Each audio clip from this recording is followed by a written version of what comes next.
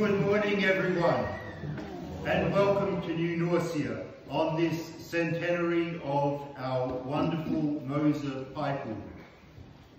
The Lord be with you. With you. New Norcia Moser organ. And one of our particular monastic customs is we don't normally make too much of birthdays. So in our monastic regulations, we're allowed to celebrate the 80th birthday, and we've had a few of those, the 90th birthday, we've got some of those coming up soon, and the 100th birthday. And this is the 100th birthday from the longest serving member of our community, the Moser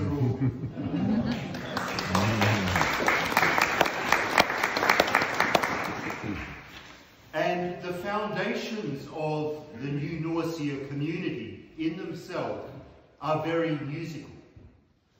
We have two founders, Rosendo Salvado and Jose Serra. Now both of those men were monks and they were both trained as professional musicians. So in those days in monastic life, people were able to specialize in their particular allocated craft or trade. And for both Rosendo Salvado and Jose Serra, it was music. And when they came out to Australia to establish this monastery, music played a very important part in the life of the monastery since its very inception.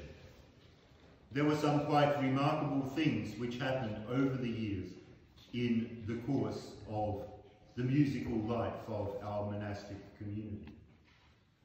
But I'm going to begin by um, playing something on our organ which is in pretty good shape considering its 100 years of age. The particular organ can be identified with one particular monk, uh, Dom Stephen Moreno. And he lived uh, during the first half of the 20th century. He was born in Spain, was sent by his monastery to Rome to further his musical studies, and while he was over there, he was recruited to join the monastery of New Norcia. He came out here and his musical abilities continued to flourish. He became one of the most prominent Australian composers of the first half of the 20th century. And it was while he was in Germany, he was sent to Germany in the early 1920s to further his musical experience and education. And the abbot at the time invited him to select a pipe organ for the monastery. And you can imagine for a young musical monk, a keen organist and composer, what an exciting opportunity this was. And he was given £1,000 to buy an organ. Now that probably doesn't sound all that much to you. But to put it in context, back in those days, a house in Perth would have cost maybe 200 or 300 pounds. So it was a very considerable sum of money. Um, I think if I asked for a new organ today, I'd probably be given a thousand dollars. But anyway, a thousand pounds. No, seriously, um, I, our abbot is very generous. But a, a thousand pounds was a lot of money. And there was this particular organ which had been on exhibition at the Munich World Fair. And this organ was, was cutting edge technology of the time. It has um, very interesting features. It's got an automatic transposer.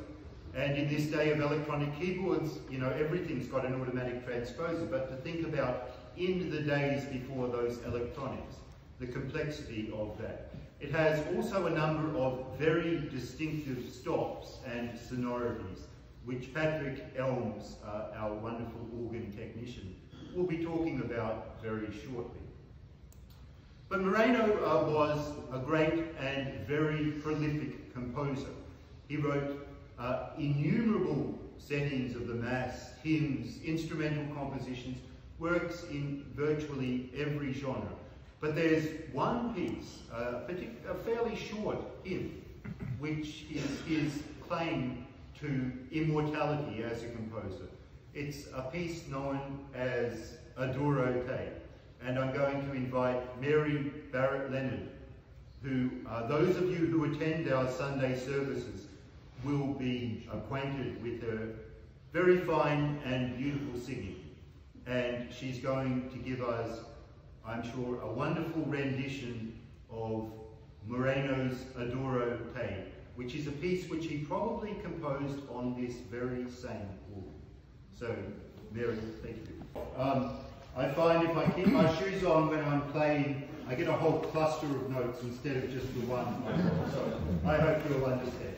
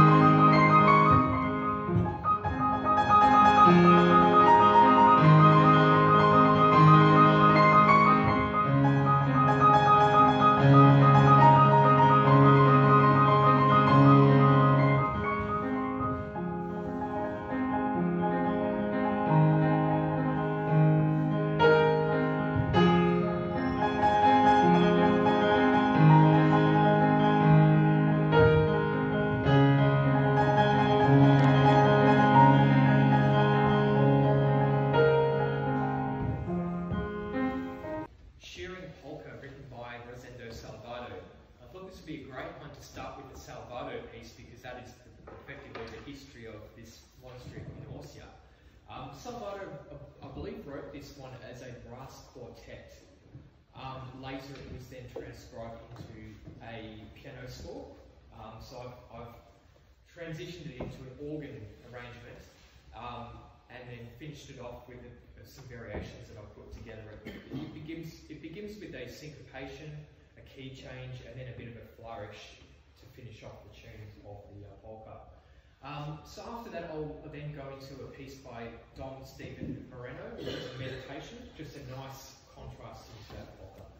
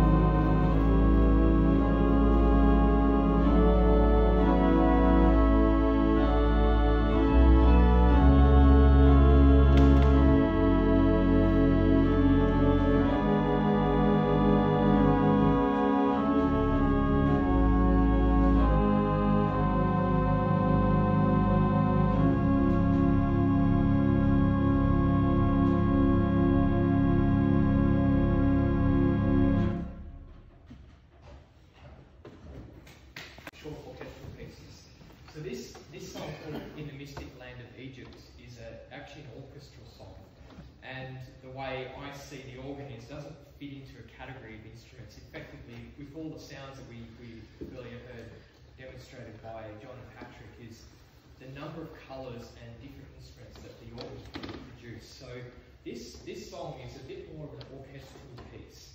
Um, and the story behind it, Mystic Land of Egypt, it will take you through a journey around ancient Egypt. Um, a lot of different sections you'll hear. You'll hear the military, you'll, you'll picture yourself by the River Nile. Um, but it's, uh, it's quite a fantastic piece, so I hope you enjoy it as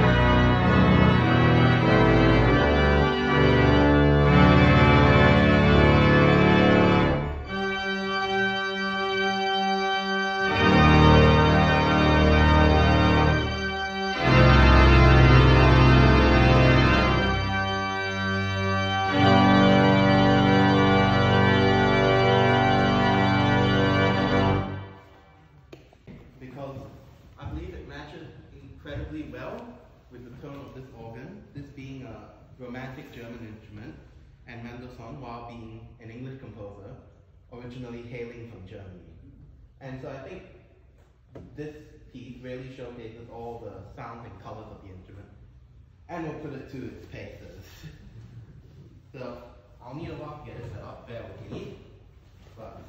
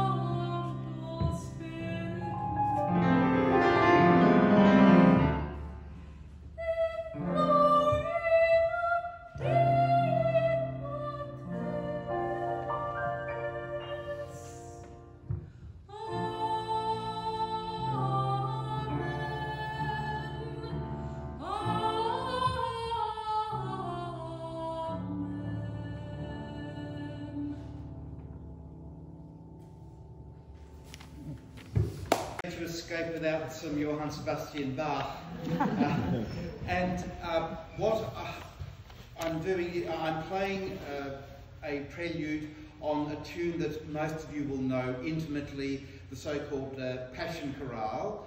Now, the whole point of an organ console is to allow the organist to control what is happening. Um, but for this piece, I am ceding that control to Patrick, and uh, it, it's uh, and he is going to choose all kinds of the different sounds we can make, particularly using the aliquot registers on the upper manual.